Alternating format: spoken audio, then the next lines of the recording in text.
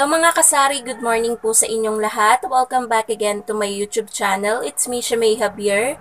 Today is Wednesday, September 15, 2021 and for today's vlog mga kasari, gusto ko lang kayong i-update na apat po na deliveries ang dadating ngayong Wednesday dito sa aking sari-sari store. Ang una na po doon is yung Berasa, which is yung mga Unilever products mga kasari. Pangalawa is yung Ames, yung bago kong ahente na doon ko kinukuha yung Oreo, yung Cadbury shots, yung ano naman, third is yung ahente naman natin ng soft drinks. And yung pang-apat naman is JF Marketing. So, yung sa JF Marketing mga kasari is, eto pa po yung orders ko sa kanila. Kasi meron po akong kapitbahay dito na sa kanila nagwo-work. Kaya sa kanya ko na lang lagi pinapaabot yung mga orders ko sa JF Marketing. Yung malapit na wholesaler dito guys. Kaya apat na deliveries yung dadating ngayong Wednesday pero hindi ko pa sure guys kung meron ba dong madedelay or wala. Bali, iano ko na lang sa inyo guys, share ko sa inyo kung ano ba yung dumating na deliveries hanggang mamayang gabi bago ako mag-close. So, sana dumating sila lahat para lahat ay ma-share ko sa inyo mga kasari. So, update ko na lang po kayo mga kasari mamaya pag may dumating na the deliveries. Uh, tingnan natin kung alin yung mauuna na delivery for today. One hour later. So, eto na po guys, yung ating unang delivery for today. At eto pang kahuli-hulihan kong in-order ang kauna-unahang dumating po mga, mga kasari. And, ang ganda-ganda ni Basha. Basha! I-haul ko na sa inyo to mga kasari. Bali, ang pinagbayaran ko po dito sa ating unang delivery sa JF Marketing is 3,050.75. So, yan po siya mga kasari. Bakit siya malaki? Kasi meron pong dalawang rim ng sigarilyo dito. Isang rim ng Winston Lights at isang rim ng Mighty Green.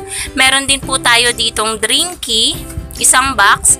Panghalili ko lang po to mga kasari kasi hindi pa ako makakapag order sa Pure Gold ng Sesto Big. Mas gusto kasi yon ng customer. Kaya ito muna yung aking binili pansamantala. At meron din po tayo ditong tissue, 11 plus 1 free. Ang bantahan ko nito guys is 12 pesos. Ito po yung naka-roll na tissue. And then, meron din tayo ditong mga nasa box. Ayan, patong ko muna dito yung resibo. Isa-isahin natin to. Meron tayo ditong alcohol na family brand rubbing compound na alcohol. 180 ml to mga kasari. Binebenta ko to ng 38 pesos. Meron din tayo ditong ayan, nagkamali sila. Bali, ang order ko guys is dalawang Thai ng Copico Blanca. Pero ang nandito is dalawang Thai ng Copico Brown. Hayaan na natin. 12 pesos guys yung kada twin pack ko na kape. Meron din tayo ditong UFC. Ayan, UFC ketchup. Dato puti na suka, 5 peraso. Yung ketchup guys is 5 peraso din. Meron din tayo ditong birch tree na chocolate at birch tree na milk. Ang bentahan ko nito ay 10 pesos. Same flavor lang. 10 pesos yon At ito yung ating ano, ayan kaya pala malaki yung pinagbayaran ko. Dalawang tie din pala ng Copico Blanca yung inilagay nila. So, hayaan na natin mga kasari. 12 pesos yung bentahan ko ng twin pack na Copico Blanca. And then, meron din tayo ditong dalawang klase ng delata. Century Tuna Flakes in Oil. At Argentina meatloaf. Ayan mga kasari.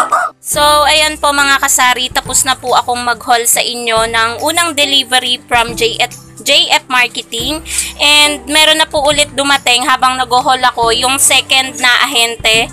Which is yung ahente po natin ng soft drinks ay dumating na po. And ito na po yung resibo po. Naka 1,199 po ako lahat-lahat. Halos ano din 1-2 mga kasari yung na-order ko sa ahente ko ng soft drink. So ito yung second na delivery. Ipapakita ko sa inyo yung mga ano pagkatapos nilang ibaba. Kasi nandito pa sa harap guys yung truck.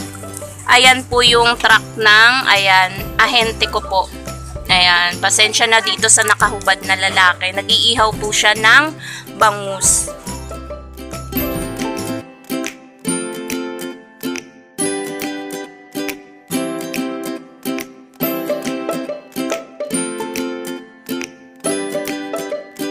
Ito naman mga kasari yung ating mga kinuha sa ahente natin ng soft drinks. Pero against the light mga kasari. Ayan, dalawang case ng Coke Kasalo, anim na 1.5 na Coke, dalawang dosena na Coke mismo, at isang dosena ng Sprite mismo. So, nasa 1-2 na agad siya mga kasari. Ayan. Yan lang yung kinuha ko mga kasari pero nasa 1-2 na siya lahat-lahat. And dalawa na yun dumating guys na delivery. Meron pa akong dalawa na paparating and ayun, update ko na lang kayo ulit mamaya. Ito na guys yung ating third na delivery. Pang third to mga kasari. Ngayong araw ng Wednesday dito sa aking sari-sari store. So, i-haul and pricing ko to sa inyo mga kasari. At ang worth ng na-order ko sa Berasa is worth 417.60. Ayan po siya mga kasari. Ayan, Berasa po siya. And then, mag-uumpisa na ako dito sa ating Nor. Ayan, Nor Sinigang Mix Original na 22 grams. Ayan siya mga kasari.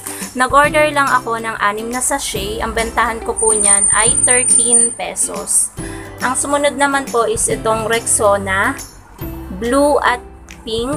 Nag-order po ako ng tag-anim. 10 pesos naman po ang aking bentahan niyan. Ang sumunod naman po is ito po. Wait lang mga kasari. Ayan po mga kasari, mag-continue na po tayo ulit sa pagpa-pricing. Holland pricing na itong diniliver ng Berasa. Bali, meron din ako ditong isang dosena na Dove Pink na in-order sa Berasa. Ito po yon. Ayan siya mga kasari. Mabenta sa akin tong Dove Pink. At 6 pesos yung bentahan ko po niyan mga kasari. Shampoo na Dove. Yan lang yung klase ng Dove guys na tinitinda ko dito. Wala nang ibang color. And then dito na tayo sa ating mga syrup. So, nag-order ako ng isang dosena na syrup powder na pink at syrup powder na red. At merong pa-promo sila guys. Nakaano siya.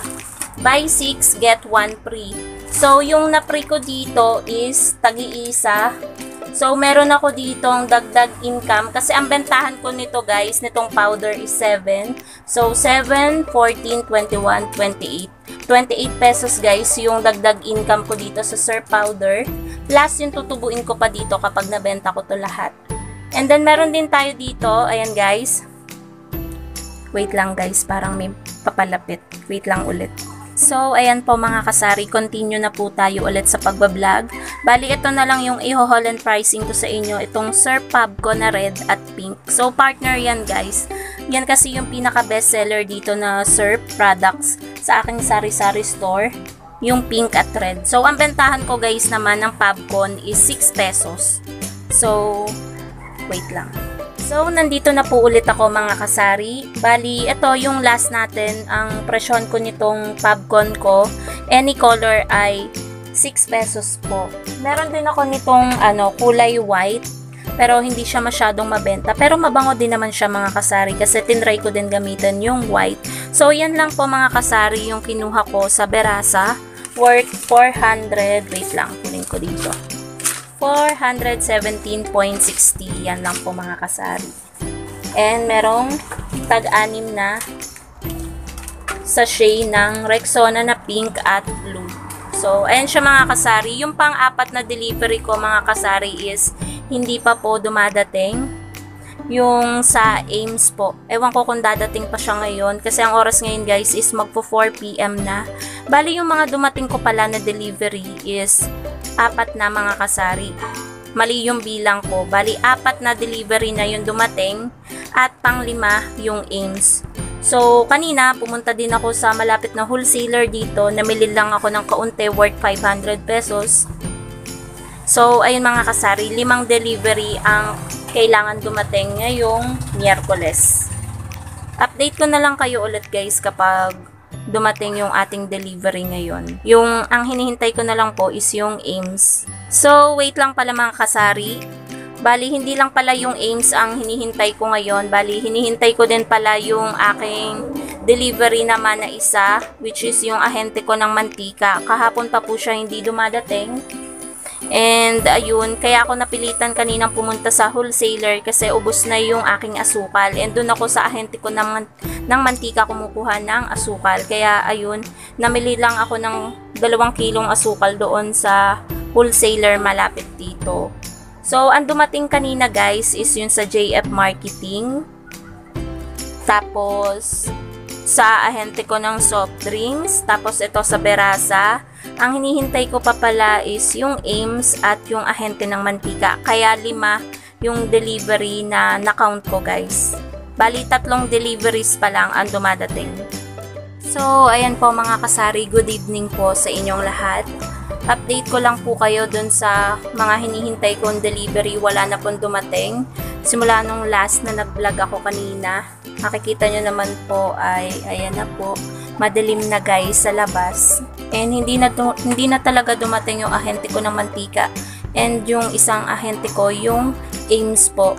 Doon ko po kinukuha yung mga Cadbury shots, Oreo, at yung mga mura natin na tang na juice. So, ayun po mga kasari, meron lamang pong bumili. Bali, dito ko na po tatapusin ang aking vlog guys. Uh, bali, tatlong delivery lang po ang dumating. Yung ating ahente ng soft drinks, yung Berasa at JF Marketing. Siguro po expect ko sana dumating yung ating aims at yung ahente natin ng mantika kasi paubos na po yung aking mantika. Tatlong bote na lang yun nandito. And ayun, kailangan ko na siya. Fast moving items ang mantika kaya kailangan yan dumating nung ahente ko. So guys, sana nag-enjoy kayo dito sa aking video. Ayan. Bali kaninang umaga pa ako nagbablog.